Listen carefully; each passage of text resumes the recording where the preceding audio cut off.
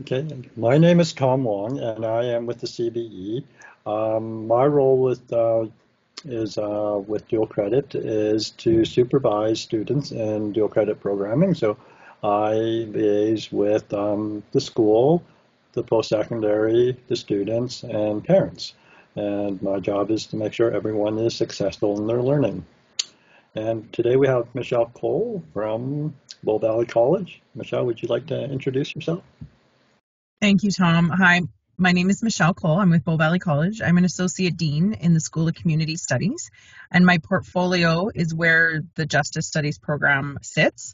Uh, and so, as students or um, organizations entering into dual credit, you won't necessarily be doing a lot of work with myself, but I uh, do work really closely with the program chair um, and as well as the faculty who do teach the courses.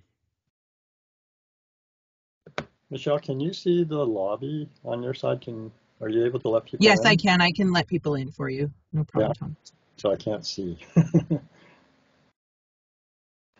and uh, Michelle, I'll let you take over from here up until about slide 10, I believe. Uh, the presentation's not up, Tom. I don't know if you want to. It's just not, the screen. Yeah. What do you see? Just yourself and myself and the the bubbles of the other people attending on the screen. Okay.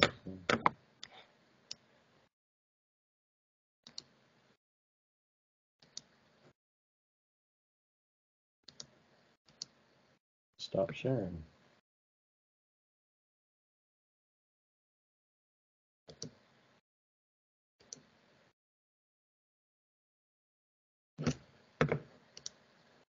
Do you see the screen now? Okay. I am going to go slideshow.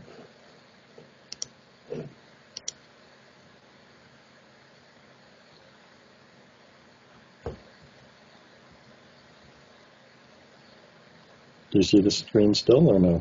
yes. Yeah, you're okay. good. All right. So this slide just gives you um, a, the program description of the courses uh, or sorry, program description for the overall diploma program. And then dual credit is focusing on two particular courses that I'll talk about in just a moment. And so, um, oh, I went back a slide.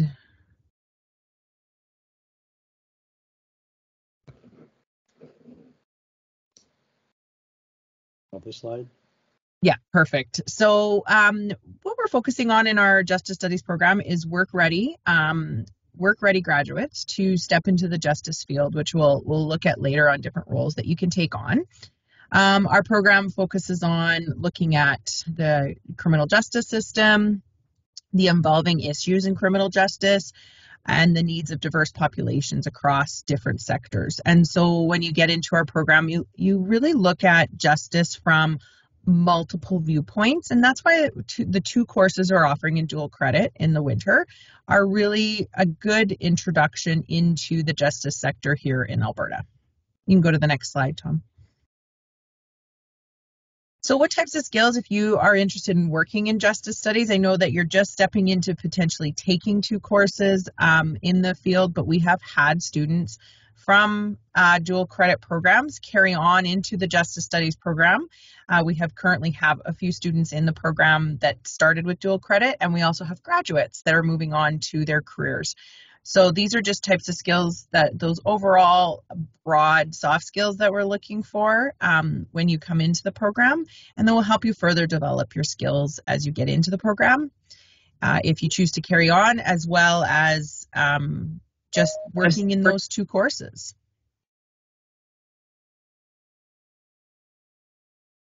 I think double click Tom and it'll show the next. There we go. So in the program, we have our, um, if you click it two more times, Tom, it'll, I don't know why the graphics. There we go. So in our program, we have general justice studies. So the two dual credit courses you'll be taking are part of all three of our specializations, and they're part of the first and second term of the program. And so they would count towards if you chose to come into the program later on. But just for your information, if you do carry on um, in the program, you can specialize in corrections, correctional studies, as well as law enforcement and or do our most popular track which is, which is general justice. And the two courses we'll be looking at here in just a moment um, count in all three specializations. Next slide. So the bundle that we're looking at through calgary board of education is offering our introduction to the criminal justice system and diversity in criminal justice in canada and so these two courses are, again, as I mentioned previously, two courses that are part of our first year of the program and really give you that first glimpse into the justice sector in, in um, not only Alberta, but really Canada as a whole. So the first course, Introduction to um, the Justice System, examines the structure of the three different levels of government involved in the justice system as well as various legal agencies involved and the overarching philosophies that govern the legal system. And so you're really starting to dip a toe into what does the justice system mean? Um, and we're looking at youth justice all the way up, all the way up through our, our justice system. And then diversity in the criminal justice system in Canada. This is really diving into the ethic, ethics, racial, and religious diversity across um, Canada in our policies, multiculturalism. Uh, we do place an emphasis on Indigenous history and traditions within this course. But how does this all relate to policing, corrections in our justice system, really, as well as looking at restorative justice? So, other types of justice pathways or um, pathways people can take in the justice system, or looking at um, restoring back faith into into the community as well as looking at um, when something has occurred uh, you know a criminal act has occurred is restorative justice a pathway versus um, detention or prison prison sentence? One thing that we did last year with this course that went over really well is we had our main instructor lori bailey who is also our program chair. Um, and but then she what she had is she had other instructors come in and teach different modules of the course from different areas in the college different programs um, different areas within the justice system who are also casuals at the college to really dive into that diversity of not only the work that you can do in the justice system, but the diversity of the different people that are in the justice system. And that really um, the students really seemed to like that. You know, they had Lori as their main instructor, but then they had that chance to see and hear from different college level instructors to not only hear their perspective of diversity and criminal justice, but also to the different teaching methods that can happen when you jump into um, the college system.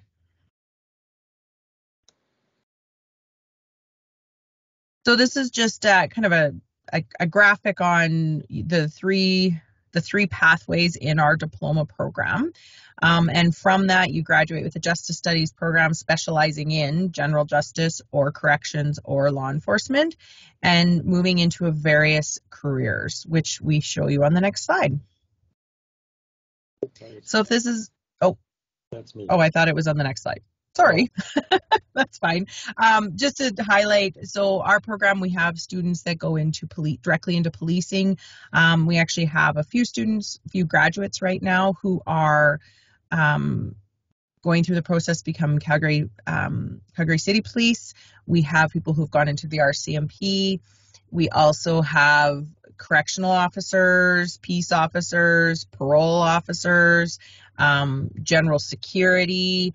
Uh, we have students who sometimes go and work in youth justice uh, or work in some of our youth serving organizations in Calgary, uh, Woods and Hull Homes, and they're working in different environments in there. So it's not just a uniformed position. You don't have to and graduate out and go into a position that you know like a policing or RCMP. There's the justice sector is really broad and there's a lot of different things you can do.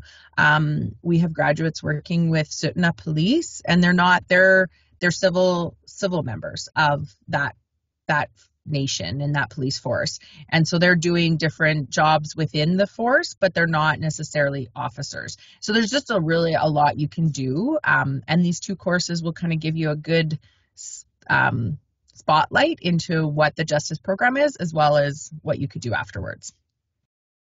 Um, so on this side here, these are the delivery dates. So we are following your um, semesters. Uh, so you'll come down to the campus Tuesdays and Thursdays from 1 p.m. to 4 p.m. and we'll start in February and we'll wrap up at the end of May is I believe is the last date. I know last year was June 1st, but it's around that kind of last week of May. You weekly you do there's lots of readings there's um, content that will be delivered every week uh, we'll bring in guest speakers lots of engagement activities within the class quizzes uh, there is midterm and final exam in both courses lots of different discussions as well as other assignments as well. Perfect yeah. It, this is such an exciting course um, we had a cohort we've had a number of cohorts but i know last year's I, I visited quite a bit. Um, I went into the class and I really enjoyed the collaboration that was going on there and the, the discussions about, and it's, it's about what's happening in the world today discussions, right? Mm-hmm. It's happening out there. And the kids are so, the students, shouldn't call them kids, but the students are so engaged in the conversation. And I, I often felt sad that I had to go leave because I had to go look after another program, but I really sitting and just listening to the conversations that were happening in the, in the class. Um, so there, there is no cost to students. If you are a CBE student, um, your textbooks and your tuition are covered by the CBE. There's a cost to us, but not to you. Um, program benefits, you will earn high school credits as well as post-secondary credits. So not only are you getting credits at Bow Valley, but you're also getting 10 high school CTS credits at the same time. Uh, you get a jump start on a post-secondary education while you're still in high school. Um, I was just talking to some of the kids that were in the course last year, and I know two of them have returned to Bow Valley. They're they've been accepted for next year, and they're so they're they're pretty excited that they got in, um, and they're pretty excited to start. Um, you build confidence through developing the learning strategy and skills that support your learning. You learn about ongoing opportunities and experience post-secondary learning. Um, again, uh, there's many opportunities that come from from justice studies. I, I know one of the students from last year was also hired right away as a, a legal assistant at a law firm, and she's so excited. She's so she's so I'm so proud of her. uh, you're taught by experienced instructors who are connected to industry and support students in making meaningful connections to career pathways. Um, Lori has a background in in, um, in justice. Uh, yeah, what I can so Lori Bailey is our program chair, and she is from corrections, federal corrections. So she worked in federal corrections for over 23 years. Um, retired and moved on to post-secondary. So she is now our program chair, or has been our program chair for I shouldn't uh, for five years, and has been with the college for uh, longer than that. Um, and then we also have Ritu Mall, who is a criminologist, and she is on on our faculty. Uh, so her background is not even not necessarily as i mentioned earlier in uniform. So that's not always a job you have to go to. So she is a criminologist has worked with many different organizations um, across the calgary area. We also have um, kevin charles who is a retired recently retired rcmp officer and worked primarily in recruitment the last few years but he has joined us at the college as well as uh, mo shakukat and he is also from federal corrections and has moved over to teach at the college. And that's just our full time continuous faculty. All our other casual faculty, so you, depending on who we who we bring on to teach these courses, you could meet um, people from that are currently working in justice as well, and they choose to come and teach casually as part of their extra job. They do sometimes. Sometimes it's part of their work they have. Sometimes they they do this on the side. Um, they have different but they all have different occupations. Some are still working directly with policing rcmp corrections um, parole officers correction working in correctional facilities. So we have many different experienced casuals. So that's one big thing at bow valley college. Across the whole college um, our faculty are often right from their careers, right from their sectors. They have direct experience. Um, they have that what we call boots on the ground, recent examples to be able to kind of ignite your fire for the area you want to go into.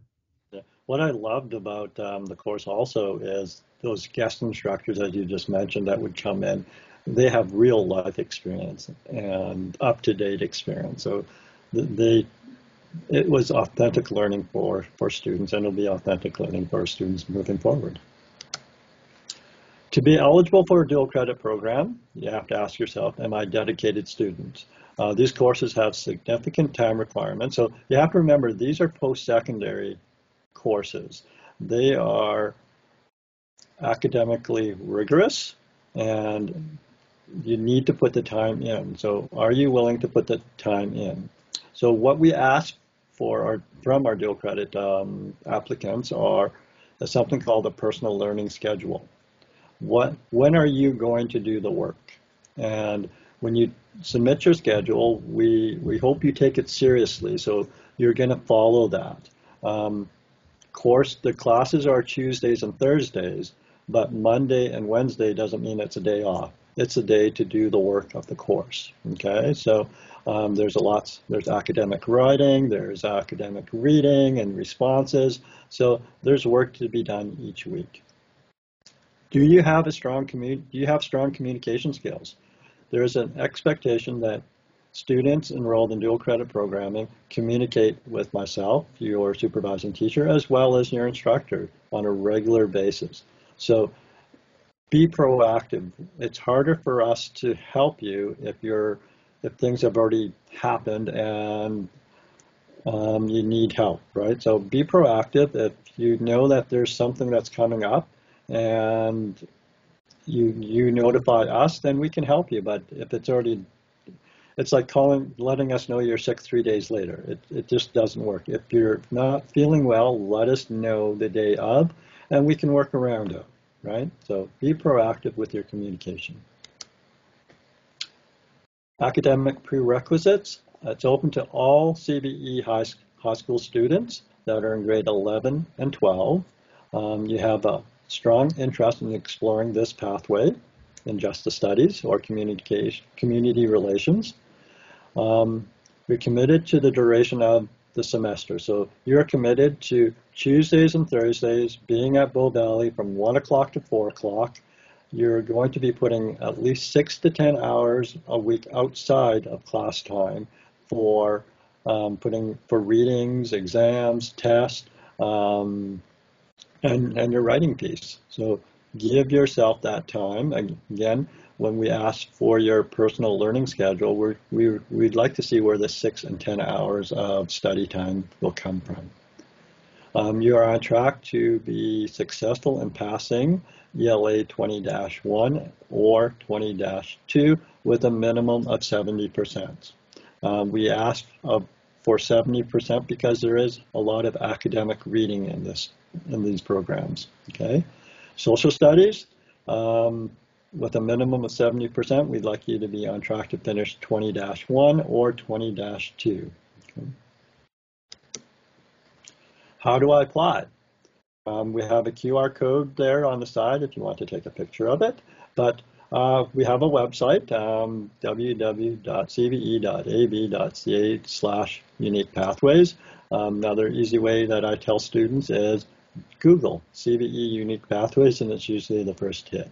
Okay, then you're going to download the application um, from the website. You're going to connect with your parents and guardians to make sure this is the right time and fit for you at this time. And if your parents or guardians say, yes, I think this is a good idea, you can now go to your off-campus coordinator or your guidance counselor to make sure that the school feels it's the right fit for you as well and they can fit it into your timetable. Remember, you're going to need a block of time away from your home high school Tuesdays and Thursdays. So Monday, Tuesday, Wednesday, Thursday, I would say, because Monday, Tuesday, you're going to be working whether you're at school or um, at home with um, the content of the course. Okay, so they're not day offs. In your application, you're going to submit something called a so statement of support from a teacher. So pick a teacher that knows you well and how well and what you're learning or your learning styles, I guess, and you as a student. So they're going to speak to us about you as a student. We don't know you because I've never probably haven't met you before, right? So this is your opportunity to tell me who you are and why this is important to you. Okay, so uh, we'd like a statement of intent. Um, this is a big part of our decision making. Um, it's not solely on academic standing at your, your grades at school. We need to know why are you passionate about this? Why do you want to be in this program? Why does this fit with your career pathways? Okay, so tell us about you. Um, last step is to make sure there's a checklist. You make sure that all the signatures are in place. You submit it to your off-campus coordinator or your guidance counselor by November 20th and they will submit it to us. You do not submit directly to us. Um, so make sure that you are on or before November 20th, and that is coming up fairly quickly. Now we are ready for some questions. Um, I'm going to leave, leave this up here in case you want to pick up the QR code. I've just checked and there's no questions and oh, it looks like someone's writing a question right now in the chat. I'm going to turn off the recording and you can also feel free to and my computer stuck.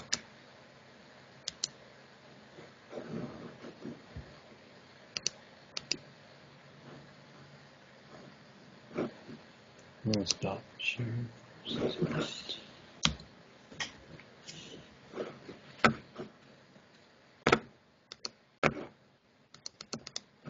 My computer is frozen. Do you have the questions in front of you? Uh, they're just they're still typing, so. Okay. Oh. So wondering if this would be a good course to take if I want to eventually go into forensic science. Yeah, you know what? I really, Andrea, um, I really think that it would be a good pathway for you. Um, and then even coming in and talking with our faculty and instructors um, would kind of give you a good sort of path to into forensic science and, and what do you what do you want to do what are you hoping to get out of that pathway but yeah i really think it would be a good step into that um because you this is that's the base knowledge as you're heading into that area so yes definitely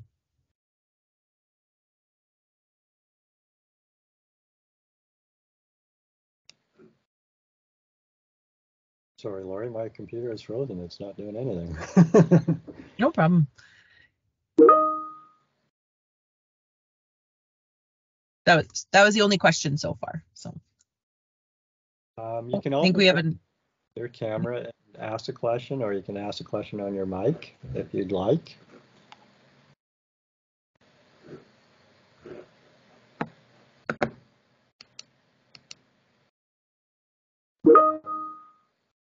Oh, I think this one's for you, Tom. Uh, when would you find out if you've been accepted for the program? Um, we will have our offers out. So what will happen is you're going to submit your application. You will receive a confirmation that we received your application. So um, if you don't receive an email by December 1st, it usually means we didn't get your application. Okay, so you, you will receive an, an email saying thank you for your application, and then we hope to have all of our decisions and our seats um, filled by the end before you go on break, if not the first week before you get back. Um, and then I think this next one is for me. So is this transferable to other post-secondary institutes? Uh, so Andrea, I'm going to say loosely yes. We do have transfer agreements in place with a few other post-secondaries where if students have a certain amount of courses, they can transfer those into a degree at another at at another post-secondary. However, when you have post-secondary credit and you apply to another institute, you can also then apply to the area in that that university, for example, to their transfer credit office and they will assess it or they will already have something in place that says yes we give transfer credit to Bow Valley's Justice 1101 um, and so I'm going to, that's why I said I'm going to give you a loose yes, as in it really depends on which post secondary institute you go to, but we do have some transfer agreements in place.